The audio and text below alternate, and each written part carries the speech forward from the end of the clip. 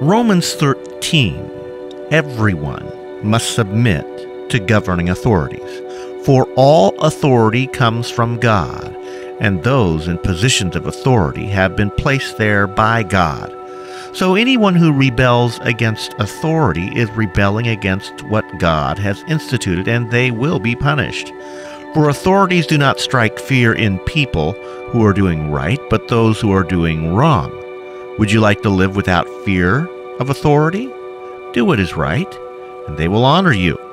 The authorities are God's servants sent for your good. But if you are doing wrong, of course you should be afraid, for they have the power to punish you. They are God's servants sent for the very purpose of punishing those who do what is wrong. So you must submit to them, not only to avoid punishment, but also to keep a clear conscience. Pay your taxes too, for these same reasons, for government workers need to be paid, and they are serving God in what they do. Give to everyone you owe. Pay your taxes and government fees to those who collect them, and give respect and honor to those who are in authority. Owe nothing to anyone except your obligation to love one another. If you love your neighbor, you will fulfill the requirements of God's law.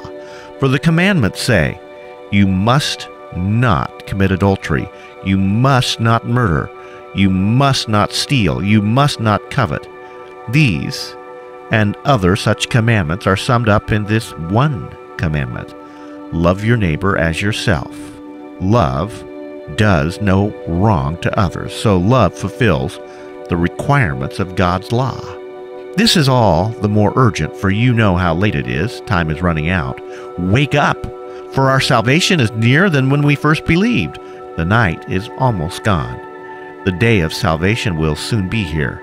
So remove your dark deeds like dirty clothes and put on the shining armor of right living, because we belong to the day, and we must live decent lives for all to see.